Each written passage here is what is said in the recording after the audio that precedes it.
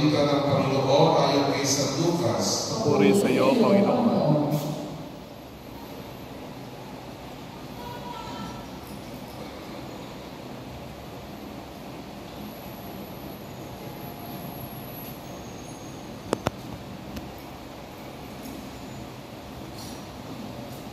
Noong panahon ngayon, sinabi ni Jesus sa kanyang mga